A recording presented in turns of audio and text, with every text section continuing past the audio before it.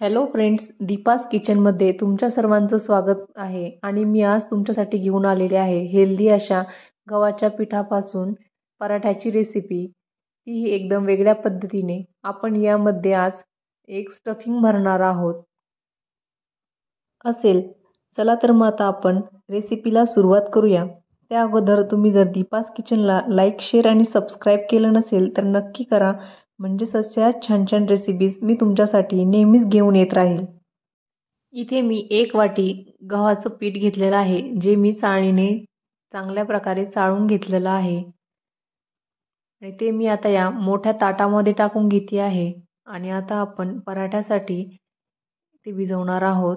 त्यामध्ये मी चवीपुरतं मीठ घातलेलं आहे. यामध्ये आपल्याला अर्धा चमचा ओवा घालायचा आहे. अशा प्रकारे हातावर क्रश करून आणि आता आपण यामध्ये दोन चमचे तेलाचं मोहन घालणार आहोत.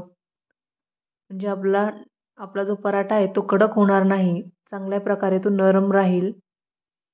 आणि हे आपल्याला हाताने चांगल्या प्रकारे मिक्स करून पण इथे एक वाटी गव्हाचं पीठ घेतलेलं आहे. त्यामध्ये दोन ते तीन पराठे आरामात होतात. आणि आता या पिठामध्ये आपण मेथीची भाजी घालणार आहोत. जी मी स्वच्छ धुवून घेतली होती धुवून घेतल्यानंतर मी ती चिरून घेतलेली आहे. आणि ज्या बाऊलनी मी पीठ घेतलं होतं त्याच बाऊल भरून मी इथे मेथीची भाजी घेतलेली आहे जी मी बारीक कट करून घेतली आहे. आपल्याला जाड ठेवायची नाही आहे तर अतिशय बारीक भाजी कट करायची आहे म्हणजे ते लाटताना आपल्याला सोपं पडेल. आणि अशा प्रकारे आपल्याला एकदम हे पीठ आणि ही भाजी करून घ्यायची आहे.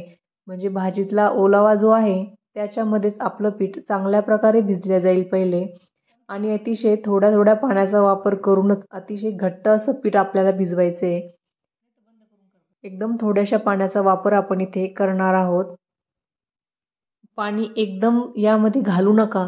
तर थोडं थोड्या पाण्याचा वापर करा. म्हणजे घट्टसर पीठ इथे भिजवल्या जाईल. या पिठामध्ये मी हळद किंवा तिखट घातलेलं नाही आहे ते ऑप्शनल आहे. तुम्हाला जर वाटत असेल तर तुम्ही त्याचा वापर इथे करू शकता. आता मी पुन्हा थोडंसं इथे हातावर पाणी घेऊन हे पीठ मळणार आहे. आपल्याला पाण्याची थोडीशी इथे गरज होती. अशा प्रकारे थोडं थोडंच थोड्या थोड्याच पाण्याचा वापर आपल्याला इथे करायचा आहे.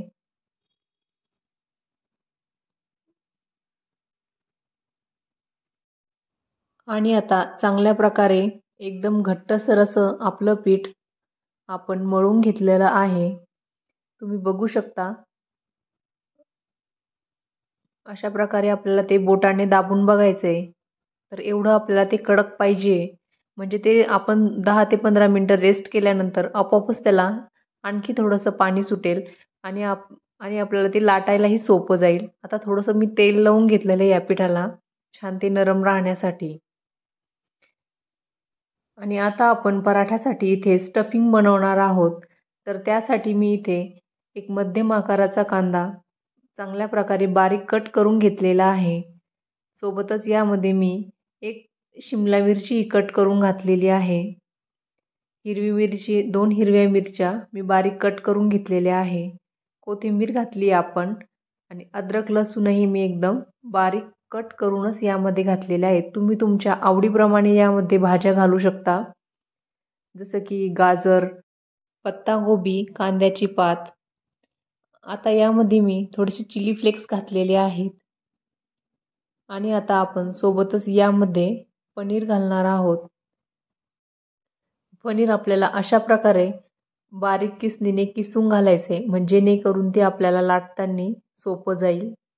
आणि सोबतच यामध्ये मी चीज घातलेला आहे. चीज घालणं ऑप्शनल आहे. तसंच तुम्ही यामध्ये मॉझरेला चीजचा सुद्धा वापर करू शकता. म्हणजे ते बघूनच मुलं एकदम खुश होऊन जातील लहान मुलं असतील तर. आणि पनीर चीज या गोष्टींकडे लहान मुलं खूप लवकर आकर्षित होतात. म्हणून तुम्ही यामध्ये त्याचा वापरही करू शकता मॉझरेला चीजचा आता यामध्ये मी चवीपुरतं मीठ घातलेलं आहे. मीठ आपल्याला सगळ्यात शेवटी घालायचं आहे म्हणजे या मिश्रणाला जास्त पाणी सुटणार नाही. आणि हे भिजवल्याबरोबर आता लगेचच आपण यापासून पराठे बनवणार आहोत स्टफिंग भरून. अशा प्रकारे आपलं आता या स्टफिंग तयार आहे एकदम. आता पराठे लाटूया आपण. इथे आपण पिठाचा छोटासा गोळा बनवून घेतलेला आहे. आणि आता आपण एकदम पातळसर यापासून पोळी लाटून घेणार आहोत. आपण यामध्ये कोरड्या गव्हाच्या पिठामध्ये ते डीप करून घेतलेलं आहे. आणि आता आपण छान पातळशी पोळी लाटून घेणार आहोत. एकदम हलक्या हाताने तुम्ही बघू शकता. आपण जरी किती घट्ट पीठ भिजवलं होतं तरी हे बऱ्यापैकी याला पुन्हा पाणी सुटलेलं आहे. आणि अशा पद्धतीने आपण आपला पराठा पूर्ण लाटून घेतलेला आहे. आता यावर आपण स्टफिंग भरणार आहोत. तुम्ही तुमच्या तुम्ही तुमच्या आवडीप्रमाणे पराठ्याला आकार देऊ शकता. तर आता यामध्ये मी स्टफिंग भरणार आहेत मी यामध्ये तीन चमचे आपण बनवलेलं स्टफिंग घातलेलं आहे.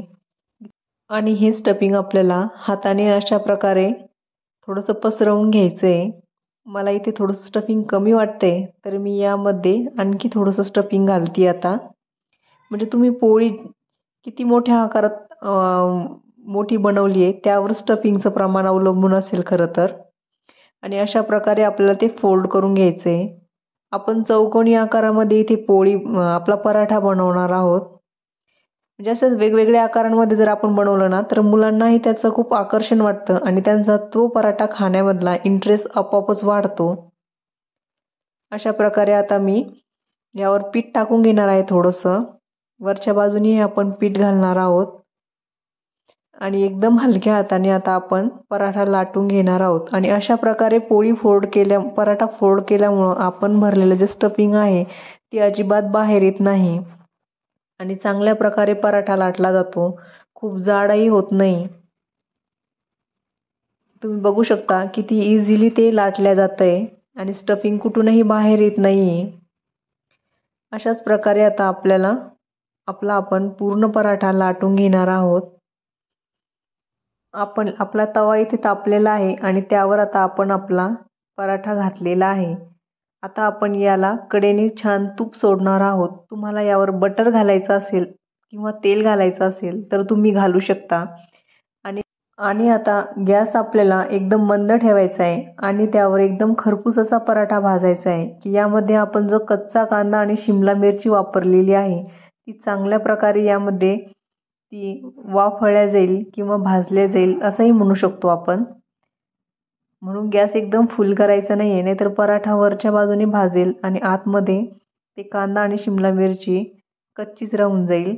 तर गॅस कमी ठेवा आणि अशा प्रकारे प्रेस करून हा पराठा आपल्याला भाजायचा आहे. आणि याला सारखं पलटी करत राहायचं आहे आपल्याला. आणि आपल्या पराठ्याला छान मंद गुलाबी रंग येऊसपर्यंत आपल्याला वाट बघायची आहे. अतिशय खमंग असा आपला पराठा इथे एकदम बनवून तयार आहे. तुम्ही बघू शकता किती सुंदर कलर आलेला आहे आणि मी असाच आता दुसरा पराठा सुद्धा बनवून घेणार आहे. हा पराठा मी सर्विंग प्लेटमध्ये काढून घेते. आणि अतिशय चमचमीत असे पराठे आपले एकदम इथे तयार आहेत. मी दोन पराठे बनवून घेतलेले आहेत. सोबतच टोमॅटो किचप घेतलेला आहे. आणि मी ते पत्तागोबी एकदम बारीक कट करून घेतलेली आहे. आणि त्याला थोडंसं लिंबू आणि मीठ लावलेलं आहे. याचं कॉम्बिनेशन अतिशय भारी होतं. तुम्ही हे पराठे नक्की एकदा ट्राय करा. पनीर शिमला मिरची यामुळे याला एक वेगळीच चव मिळालेली आहे. मुलांना कळणारसुद्धा नाही की ते मेथीचे पराठे खात आहेत म्हणून. आणि एकदम हेल्दी असे आपले पराठे आहेत. आणि या पत्तागोबीसोबत तर अतिशय अप्रतिम लागतात ते. नक्की ही रेसिपी एकदा ट्राय करा आणि कमेंट करून कळवायला विसरू नका. पुन्हा भेटूया आपण अशाच नवीन रेसिपीसोबत तोपर्यंत धन्यवाद.